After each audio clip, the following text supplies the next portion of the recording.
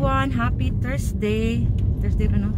Time check 7:54 a.m. We are off to the IEC Convention Center for the vaccination first dose of Tiffy. Excited na ka, Tiff? Sa imong first dose? Ha? Hi.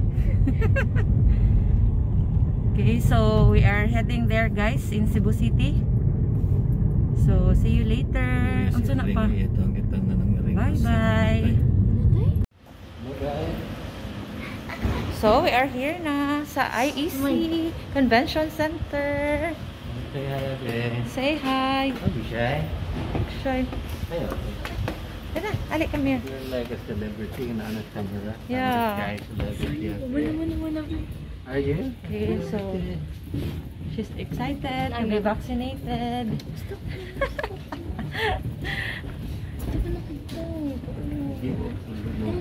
Okay, pakasulod. We are here.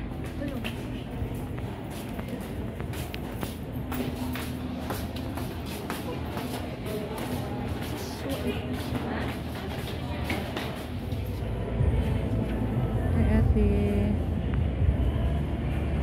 She's ready for the vaccination.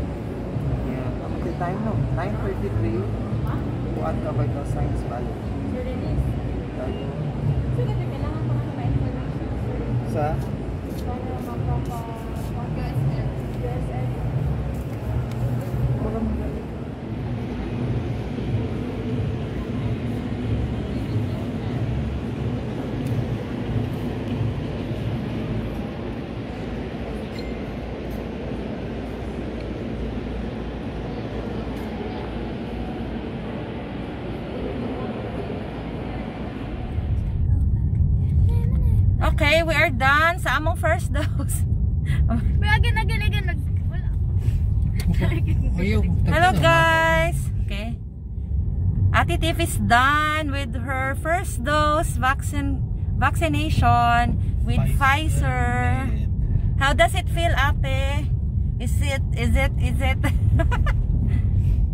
Okay, so we are mobiling mobiling na to we're going to SM City Cebu.